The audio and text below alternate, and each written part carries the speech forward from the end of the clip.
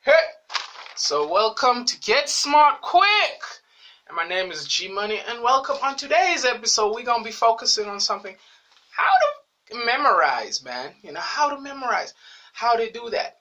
And first of all, I wanna like share a little short story. A short story. This is like I don't know if you can relate to this, but this is a short story. So it was we're looking way back. Okay, so you know how it is.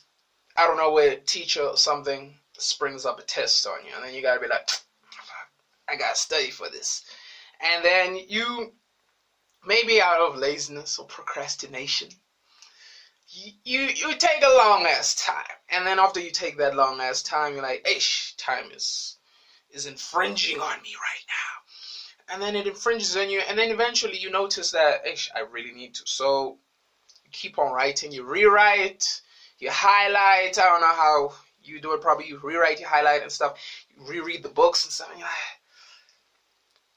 it's here, it's here. And then test day comes. Test day comes, and that's where it hits the fan, and then you're gonna about to put the pen, and then you're like, oh. But but I found a way that can really revolutionize that.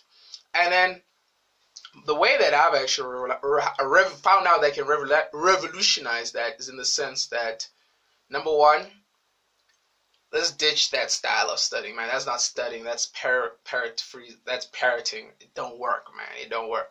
Instead, what we should focus on is this. Step number one, if you want to truly have the ability to memorize and retain stuff in your brain, is that the first thing you must notice and automatically realize is that it's going to require you to effortlessly re-review daily and constantly re-review and rewrite but not in how you, you expect it. This is how it works. You'll you'll create cue cards for yourself something similar like this something similar like this like that. Create you'll create cue cards for yourself and then on these cue cards you'll write you write keywords you almost be almost think of like a talk show host you create the cue cards and then you just put the keywords the keywords of each section. So whatever, if it's tourism, whatever, you throw the keywords, marketing, and all that stuff, and within it you put the keywords, make them nice and small. Then after that, you want to you want to design your cue cards, whatever, until it's the final version's perfect. Until the final version is perfect. When the final version is finally perfect, then you move on to saying the cue cards out loud. This is the interesting part now. When you say the cue cards out loud, you testing you you almost like a hit song you know what i'm saying like you you looping it in your you saying it out loud to yourself you know it's feeding it's traveling it's sharing itself into your mind it's having all those that impact and stuff like that it's sharing itself into your mind so then after that you keep on saying it out loud out loud out loud out loud out loud then after that later on you're gonna say it again out loud without looking at your cue cards. Except if you if you truly were able to retain the information. Now every time you're saying it out loud, out loud, out loud. Now you, you test it and then you look, damn it, I missed something. Then you course correct. You know, you course correct. After that, you take a nap or you sleep or you know power nap or something, and this is to create the neural pathways. So the video of what, of what you were seeing shares itself in your mind you know and and it like and then the, the the neurotransmitters like each other and they start you know vibing and tingling and all that stuff.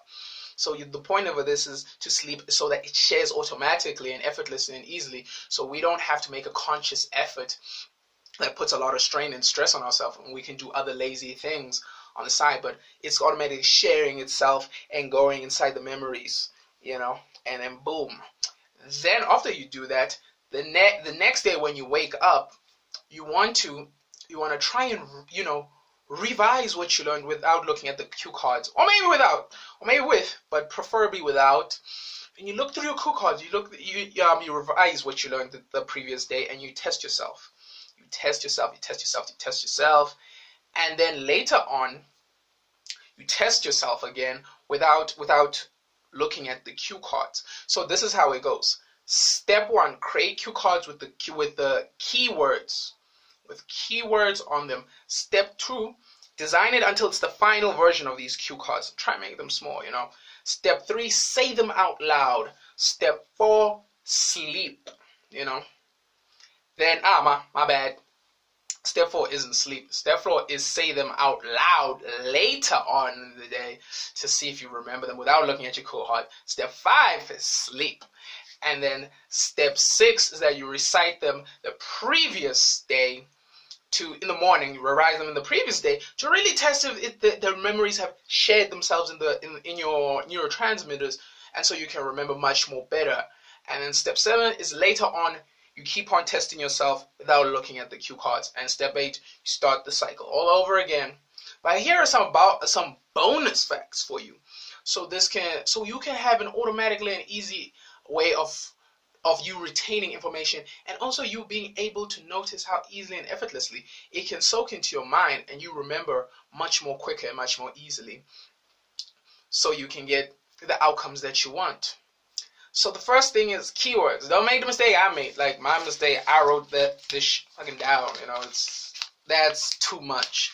The keyword, the name of the thing, the keyword. You know, look at this. This look like stripper money, like stuff you throw at the strip. Goes back to my next point. You want to cut this maybe in half or something if you're going to try something like this. Try like this. Keep it on you. Also, another thing, try add color, bro. Like, try add bright colors, like in brand psychology and stuff like that. Add bright, bright colors it really it appetizes your mind. You automatically begin to notice that it soaks in much more easier than when it's black and white blue and white red and white you know. It just effortlessly soaks in so you can effortlessly feel much more better.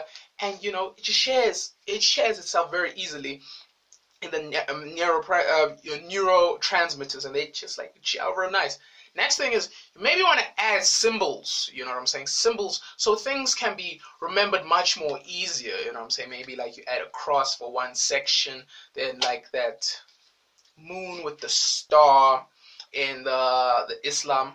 But this does not have to apply to religion. You can add those things because those are common symbols, whether it's cross symbols, you use that to try and remember yourself. You link that with symbols and you're like because everywhere you know even if you're not a christian you know that this is like this is christianity and then apparently this is satanism even though this is how saint paul died or something like that.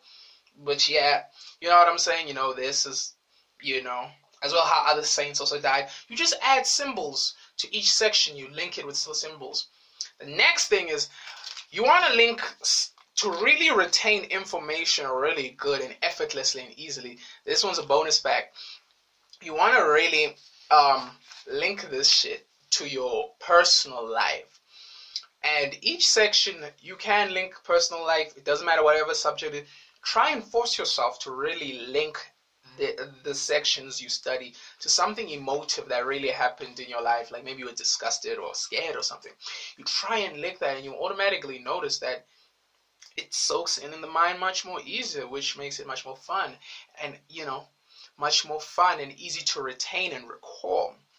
Then the next thing is put your cue cards on stuff that you see all the time, you know, maybe on the back of your phone. This is why I say try and design maybe even smaller, you know, smaller. Then you can maybe do like the acronym. Is it acronym or acro? No, not the acronym. What is it called? Acrostic. Yes acrostic. You, acrostic, you put maybe, you know, atmosphere and then the A and the the A stands for something in that subject, the T, the M. Try and make your acronyms nice and small. But either way, the point is try and put these cue cards and stuff that you see all the time so it can logically sync itself easier as you as you run through your normal day without you having to to re- recall this. And it, and you'll notice, you become aware of this, how easy and effortless it, it makes your life much more because now you're not really actively studying. You're just walking around and stuff. Oh snap! Oh snap! Oh snap! You know. So that is the easy and effortless ways of trying to memorize without constantly writing and wasting paper and having hand cramps, dog. The hand cramps. But you know, someone once told me sharing's caring. And everybody knows what it's like to share something. When you share something, you share something because you learned a uh, value and interesting knowledge about something you didn't quite truly understand. Many people share something because they find the value and how it can make their lives much more interesting. and other people share something because they found it very informative and inspiring to enable them to chase whatever they want to. And you can find yourself feeling the need to share something for the reasons I mentioned or for the reasons that make sense to you. Thank you very much.